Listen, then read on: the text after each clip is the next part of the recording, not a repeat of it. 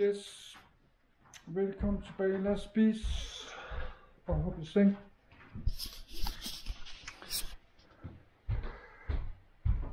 Klokken er hele fem, du synes er en god plan.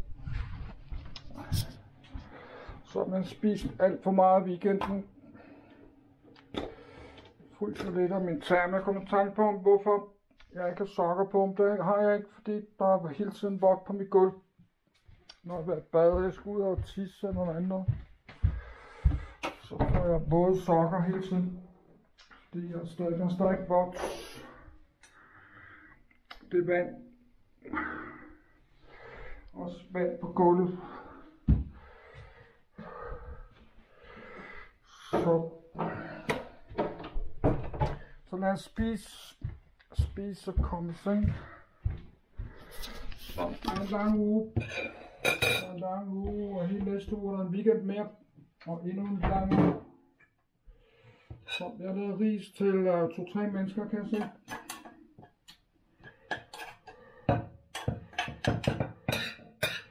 Så jeg har lavet ris til uh, to, to voksne. Altså meget af det vand. Meget af det ris, det vand.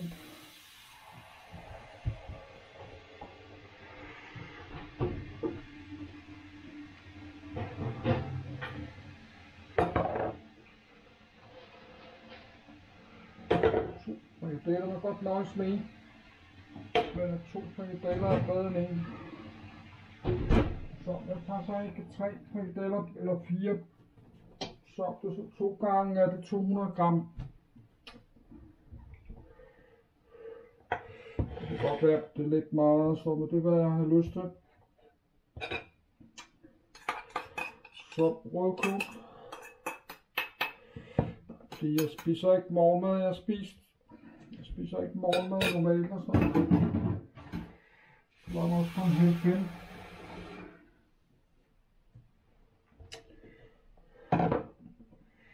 Så nu står jeg og savler igen.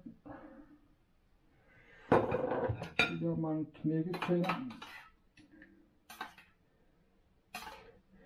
Det er iskoldt derude, jeg har også prøvet sådan lige et hak ekstra op. Så jeg synes, jeg bare spise og hoppe i seng. Så jeg har vasket op og så, så.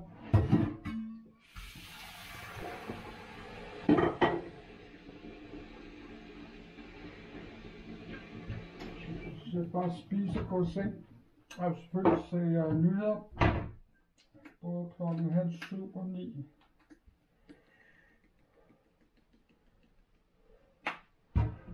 Så lad os spise. Jeg må lige gå, så jeg ikke taber den her.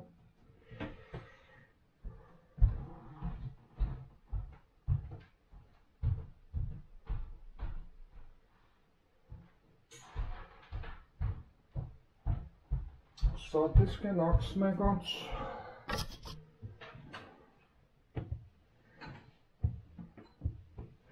Nej, jeg bliver nødt til at spise for det så får jeg det dårligt. Og dårligt med at få ubehag og sådan noget. Jeg har ikke lyst til at sulte mig lige nu. Det er selvfølgelig, det er ikke at diætte mad til to mennesker, tror jeg. Mad til to voksne, kan jeg godt se.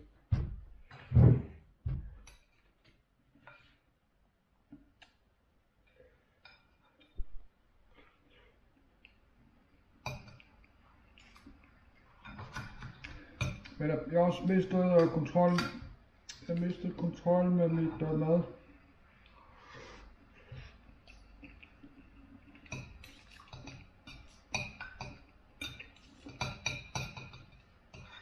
Stop, jeg skulle stoppe stop alt det der øh, slik, slik og chips og kager kiks og sådan noget, sådan noget der ikke er mad.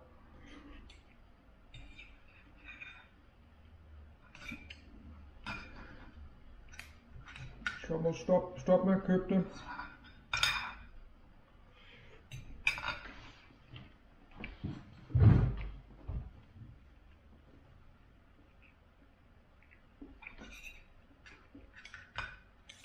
købte en pose chips i går på Sovsjø. Jeg købte altså også fire kager så.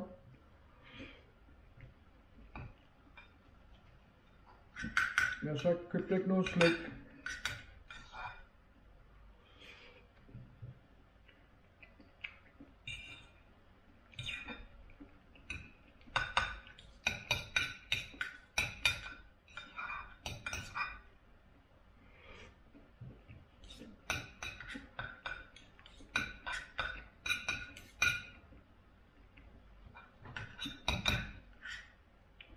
Jeg har lige lavet en video øh, med en god afslutning på Marco TV er.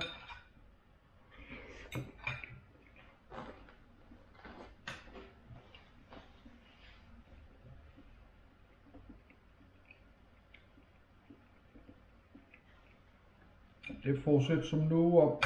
Den min gæld ned. For, få styr på min øh, økonomi.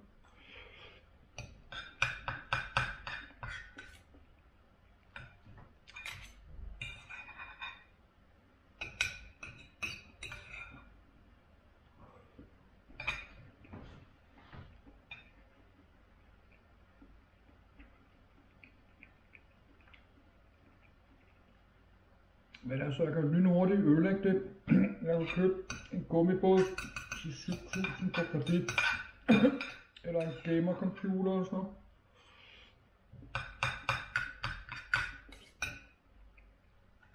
Så må det være med at gøre det.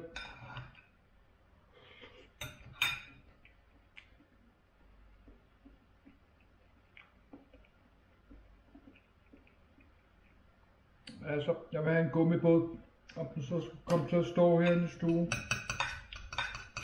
Så man skal også flytte og sådan noget.